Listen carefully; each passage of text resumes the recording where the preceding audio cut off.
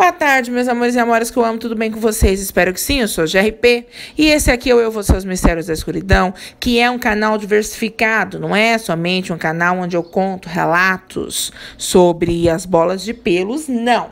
Vou trazer para vocês hoje um chá maravilhoso que serve para curar gripe. A minha inscrita Maria do Socorro, que é moradora de Manaus, enviou para gente esse chá. Segundo ela, esse chá é batata. Ela estava com um resfriado muito forte em 2018 e nada curava esse resfriado. Aí uma parente dela falou para ela tomar o chá de anis estrelado. E ela disse que foi que nem tirar camão. Agora quando dá resfriado nela ou em qualquer pessoa da família dela, ela já soca o chá de anis estrelado e fica boa rapidinho. E detalhe, eu fiz uma pesquisa e descobri que o anis estrelado possui propriedades antivirais. E é por isso que ele consegue eliminar o vírus da gripe. Quais os ingredientes de RP para esse chá maravilhoso? Uma colher de chá de anis estrelado, 250 ml de água.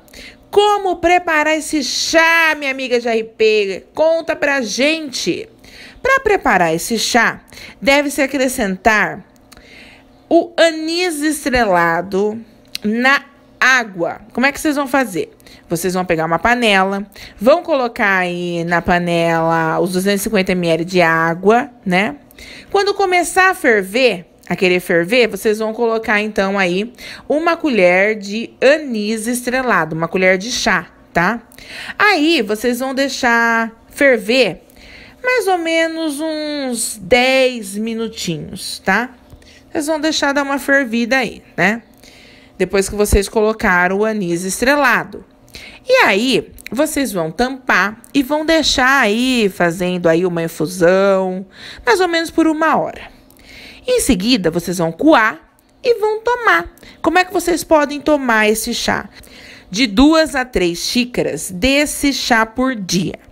Segundo a nossa escrita, é batata, resolve mesmo. Essa história de ficar tomando remédio, que está tomando injeção, nada resolve. Ela disse que ela gastou o que não tinha, até que ela descobriu aí o chá de anis estrelado.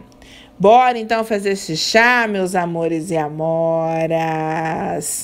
Eu sou muito grata à nossa escrita maravilhosa que enviou aí o chá de anis estrelado para que eu pudesse compartilhar com vocês essa maravilha da natureza.